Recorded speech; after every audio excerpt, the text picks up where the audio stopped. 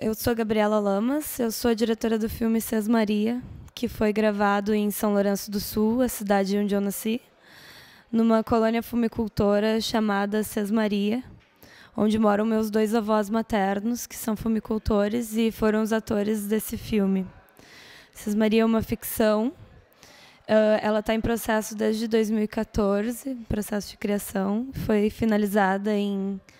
foi finalizada em 2015. O mais tocante de fazer esse filme, com certeza, foi trabalhar com os meus avós, na primeira vez como diretora, porque o filme traz questões uh, muito importantes sobre a depressão que assola muitas das pessoas que trabalham com fumo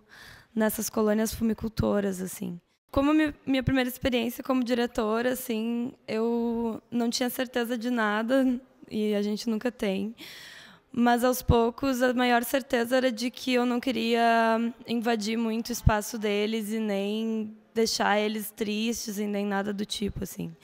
E eu fui percebendo que, além de tudo, além de ser um medo deles, esse medo do cinema que eu tinha era um medo meu de algo que poderia talvez acontecer com eles ou de algo que eu não sabia que estava acontecendo na realidade assim deles e tal. E, e, era muito medo para todos os lados deles, como atores, de estarem ali na frente das câmeras, a gente de estar gravando isso, o medo de poder danificar alguma coisa, quebrar algo ali no lugar. Então eu fui me descobrindo como diretora mais a partir do momento em que a gente fazia estudos para poder se distanciar deles como personagens da vida real para eles como atores. Inclusive a gente teve ajuda de dois preparadores de atores depois que a gente percebeu que o que a gente precisava tratar eles como atores, a gente resolveu usar a iluminação artificial, tudo isso para que eles se sentissem num set de filmagem assim. E aí essa minha descoberta como diretora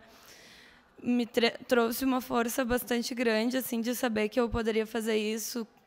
estudando, enfim, chegando e eu também tive a ajuda de um grande amigo que é o Lucas Sá, que teve me ajudando na direção e trazendo um pouco do tom fantástico, de realismo fantástico que tem no filme assim.